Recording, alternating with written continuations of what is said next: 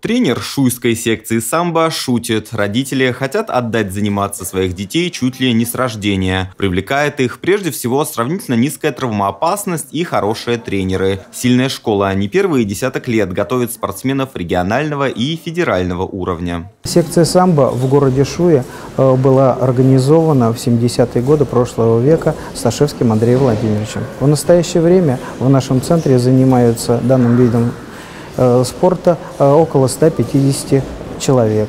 Э, наши дети постоянно участвуют в различных соревнованиях. Последнее время у нас наметилась тенденция, положительная тенденция побед наших воспитанников. Одно из последних достижений шуйских самбистов – серебро на первенстве ЦФО. В составе сборной Ивановской области Илья Ромберг занял второе место. Из пяти боев юноша выиграл четыре, а вот в финальной схватке не смог одолеть спортсмена из Реутова. Изначально я получил травму, но э, пытался восстановиться, она еще не, не зажила до конца. У меня растяжение связок сильное, но в любом случае я старался на тренировках выкладываться. И в конце концов, э, на, перед ЦФО, я даже до конца не знал за неделю, поеду я, не поеду.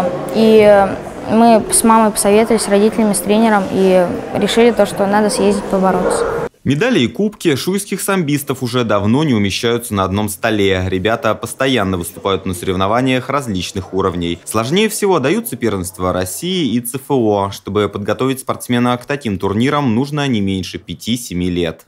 Я занимаюсь более 9 лет, скоро 10 год пойдет. А, много участвовал на соревнованиях в ЦФО, на России.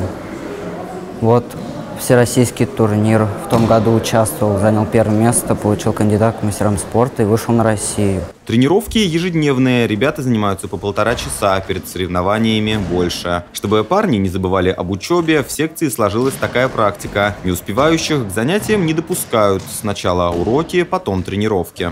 Первоочередная задача тренера, то есть каждый тренер, соответственно, должен быть психологом хорошим.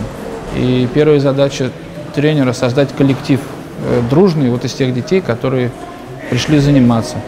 А если коллектив создан дружный, то есть ребята там сдружились с другими ребятами, нашли общие интересы, нашли новых друзей, их уже тянет самих э, прийти сюда заниматься. И потом уже, как говорится, привычка и желание заниматься, вот это все сказывается, что они остаются здесь секции подчеркивают, что учат своих воспитанников не только приемам самообороны, но и умению постоять за себя и без применения силы. Пожалуй, отсюда и стремление родителей отдать свое чадо на самбо как можно раньше. Максим Серебряков, Денис Денисов, РТВ Иванова, Шуя.